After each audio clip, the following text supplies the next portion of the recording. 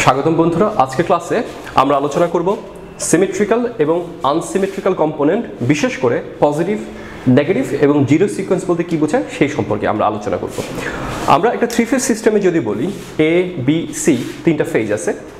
সেই ফেজগুলো যদি দেখি এ বি এবং সি ফেজ অর্থাৎ ভোল্টেজ এ ভোল্টেজ বি এবং ভোল্টেজ সি অর্থাৎ তিনটা ফেজের জন্য তিনটা ভোল্টেজ আমরা দেখতে পাচ্ছি ফেজর ডায়াগ্রামে ভোল্টেজ এ ভোল্টেজ বি এবং voltage C what is symmetrical component অথবা হোয়াট ইজ সিমেট্রিক্যাল সিস্টেম বা ব্যালেন্স সিস্টেম কাকে বলে? বা ব্যালেন্স সিস্টেম আমি কেন লাগবে এবং সেই ব্যালেন্স সিস্টেমে আমার পজিটিভ নেগেটিভ এবং জিরো সিকোয়েন্স কেন ব্যবহৃত হবে সেই সম্পর্কে আমরা সিকোয়েন্সিয়ালি এরপর পরের ক্লাসগুলোতে আমরা আলোচনা করব। আমরা যদি সিমেট্রিক্যাল কম্পোনেন্ট বা সিমেট্রিক্যাল সিস্টেমের ডেফিনেশন এভাবে করার চেষ্টা করি ট্রান্সফরমেশন অফ আনব্যালেন্স সিস্টেম, অর্থাৎ একটি আনব্যালেন্স সিস্টেমকে আমি যদি ট্রান্সফর্ম করি, তার ফেসগুলোকে ব্যালেন্স করার জন্য by the help of symmetrical component, তাকেই বলা হচ্ছে সিমেট্রিক্যাল সিস্টেম। আচ্ছা এখন আমরা পজিটিভ, নেগেটিভ এবং জিরো সিকোয়েন্স নিয়ে আলোচনা করব। What is positive sequence positive sequence হচ্ছে যে সিস্টেমটা বা যে সিকোয়েন্সটা তার অরিজিনাল যে ফেস যেটা ছিল, অর্থাৎ ভিএ ভিবি ভিসির মতো, অর্থাৎ এই যে যে তিনটা সিকোয়েন্স অর্থাৎ আমি ধরে নেই, এটা রোটেট করছিল এইভাবে।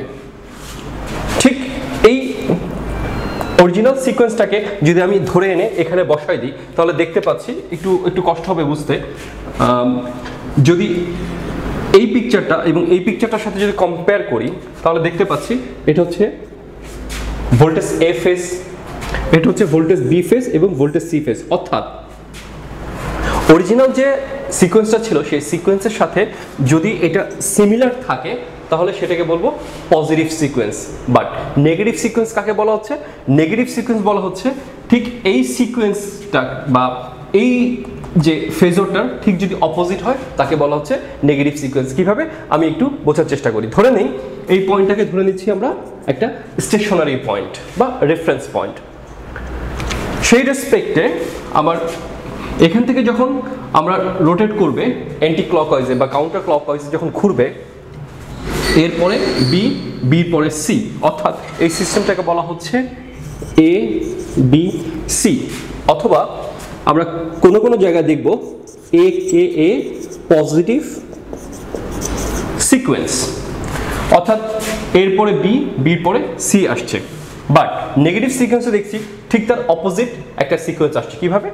আমরা এটাকে বলছি স্টেশনের পয়েন্ট অর্থাৎ ভি এ ভি এর পরে অরিজিনালটা ছিল হচ্ছে এখানে বি এখানে সি ঠিক জিনিসটা উল্টে যাচ্ছে। অর্থাৎ এই সিটা চলে আসছে এখানে এবং এই বিটা চলে আসছে এখানে। অর্থাৎ opposite phase sequence of its original sequence অর্থাৎ এই পূর্বের বা এই অরিজিনাল যে সিকোয়েন্সটা আমরা এটাকে ধরে নিচ্ছি বা বলে নিচ্ছি অরিজিনাল অরিজিনাল ফেস সিকোয়েন্স তাহলে আমরা যদি কনক্লুড করি এভাবে যে অরিজিনাল বা একটা reference phase সিকোয়েন্সে A phase B phase C phase ঠিক অনুরূপ যদি একটা ফেস সিকোয়েন্স থাকে, সেটাকে বলা হচ্ছে পজিটিভ সিকোয়েন্স এবং তার রোটেশন আমি ধরে নিচ্ছি এইভাবে। এন্টি ক্লকওয়াইজ অথবা কাউন্টার ক্লকওয়াইজ বাট যদি আমি বলি এই অরিজিনাল ফেস সিকোয়েন্সের ঠিক বিপরীত, অর্থাৎ যদি এইভাবে বলি ক্লকওয়াইজ রোটেশন যদি বলি, অর্থাৎ এ বি সি তাহলে সেটাকে বলা হচ্ছে negative sequence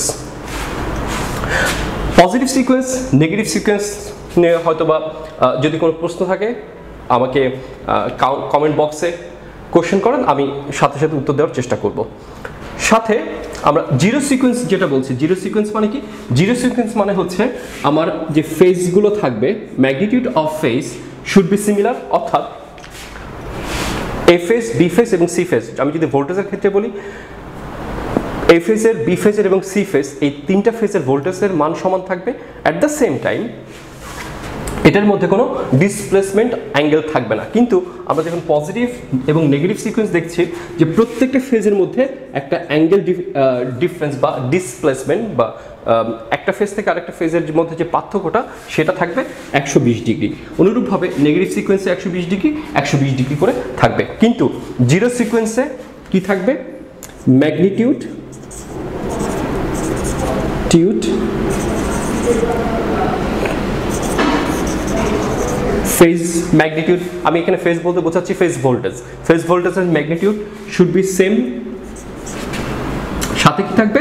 তাদের মধ্যে যে অ্যাঙ্গেল থাকবে, সেই অ্যাঙ্গেল থাকবে জিরো ডিগ্রি তাহলে আমরা সেটাকে বলব জিরো সিকোয়েন্স এবং এই জিরো সিকোয়েন্সে আরেকটা ব্যাপার হচ্ছে, আমি যদি আই এ বলি ইকুয়ালস টু আই বি বলি, এবং আইসি এটা পারফেক্টলি ইকুয়াল